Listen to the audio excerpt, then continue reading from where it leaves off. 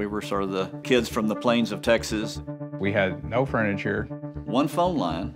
And you did a silly thing like quit to try to start your own computer company. People must have thought you were nuts.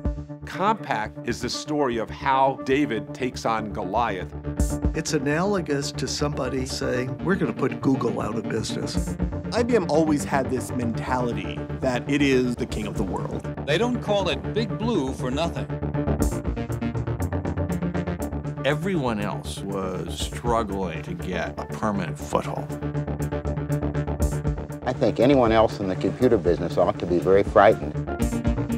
There was no doubt they were just absolutely trying to, to kill everybody else.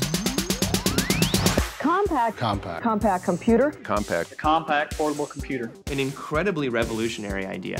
A handle, wow. People wanted to go home over the weekend and finish their work before Monday. They grabbed a portable.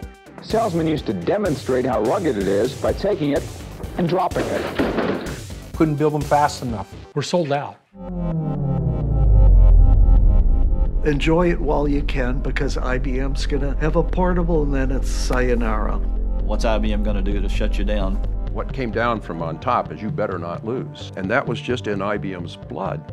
The way you were supposed to deal with IBM a smile and a handshake in one hand, and a knife to stab them in the back with the other hand.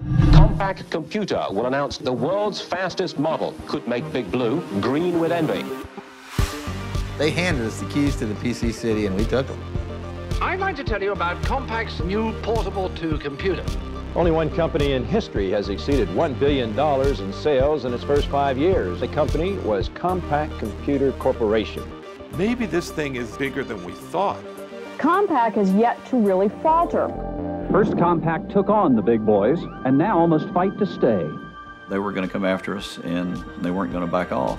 IBM controlled the marketplace. I don't think we were ever trying to take down the biggest company, ever. We were trying to survive. We will defeat them in the end.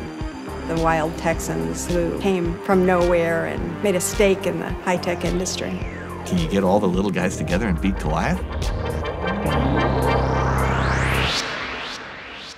You cannot get to the iPhone without the original Compaq portable.